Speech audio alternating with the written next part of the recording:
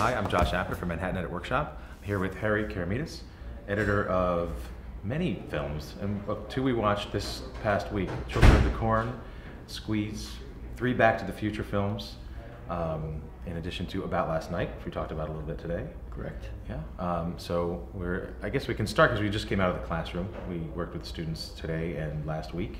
Uh, have you done teaching? Uh, sort of. Have you done educational experiences like this before, or is this the first time? No, I have done it before. I've worked with several several universities and colleges where I've gone and done master classes for a couple of days at a time, where I work directly with students as well as presenting some kind of a, uh, usually an evening lecture for a, a, couple of hours with some demonstration things, uh, a la the things I showed uh, showed you guys, Mhm. and uh, so it it's something that's familiar to me and something that I like to do. I enjoy giving back to to young people things that I've learned, and uh, I want to pass on what people were willing to pass on to me.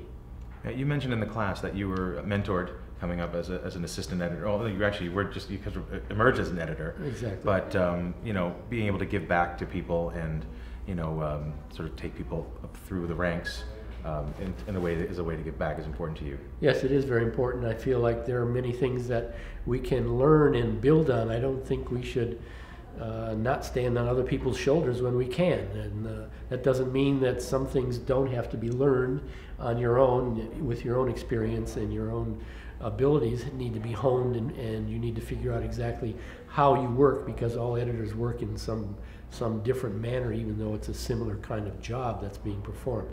So I do like to pass that back on to people so they can be building upon something that I've learned and gone that's gone on before me. The things uh, that I would recommend other students do would be to study things in film school, not only in your discipline, but in other disciplines as well. I think that learning of how actors deal with with scenes and situations and how directors direct and how producers have to get money together and do those kinds of things is very helpful to us in what we do because we're the synthesizers of the final uh, product. All the things come together through our hands, Mm-hmm. and there all the mistakes need to be filtered out by us in order to make this project come to fruition. And you you had said and maybe this was specific to documentary today, but you're saying like you were given all the grapes and were told to go make wine. I thought that was an interesting. Yes. it's a challenge. Yeah. Being perhaps that was specifically the nonfiction, but uh, it seems like it's not completely inaccurate.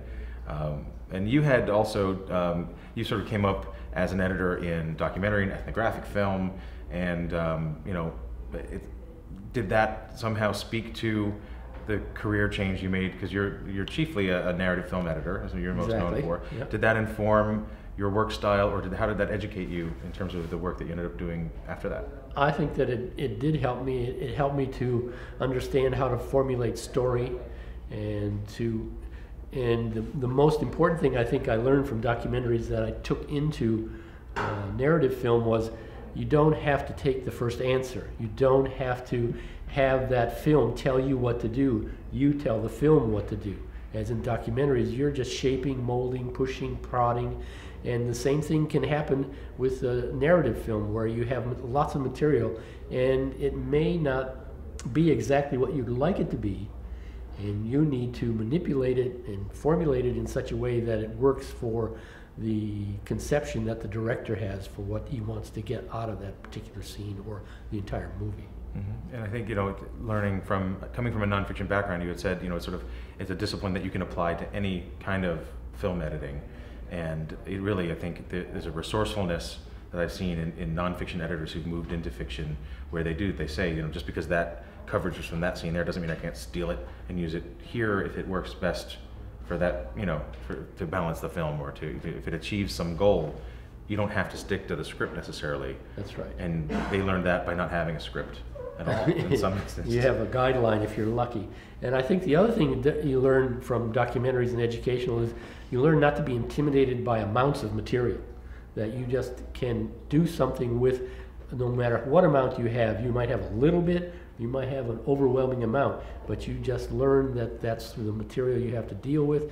You move it, shape it, punch it, prod it, Mhm. and make it tell the story. So you made a dough out of that. We're making a, Exactly. some sort of cake. Um, now, we'd also the question of, of technology. I guess you know. Do you think people are at you know, uh, putting themselves at a, at a greater advantage, learning more of what the technology is available to people today?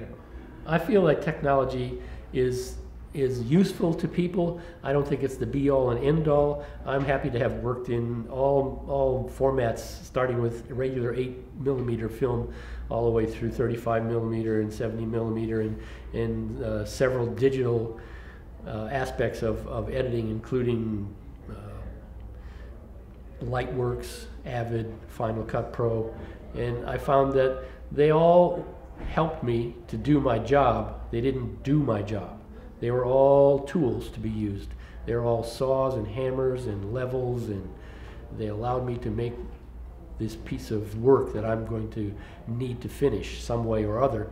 And it makes your life easier in some ways, more difficult in other ways. Mm-hmm. You have more time, so more is expected of you as the quote unquote picture editor. I was picture editor and I had one job, and then when I had more time because I didn't have the physical manipulation time of all the 35 millimeter film going back and forth on shelves and into bins and hanging on hooks, that they said, well, might as well do some sound effects because you have some extra time, and then why don't you do some color correction, and why don't you do some special effects, and why don't you do some temp music?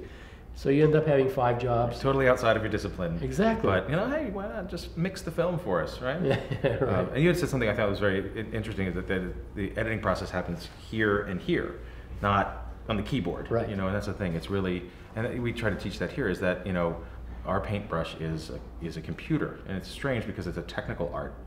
Unlike a lot of other art forms, you have to learn about technology on some base level to paint with in, in film yes. to do that job, and uh, it's unlike any other any other art form that I can think of. Yeah, that's absolutely true. Especially if you're a writer, you just take things out of the ether mm-hmm. and you put it onto a piece of paper, and you've created something that's a story, a narrative line that people are going to follow. And uh, when we do it, we it's been translated through several several people and several things like cameras and processing of either uh, trans- transferred to digital or brought through uh, film processing and then it's given to us, and we have something physical to actually work with.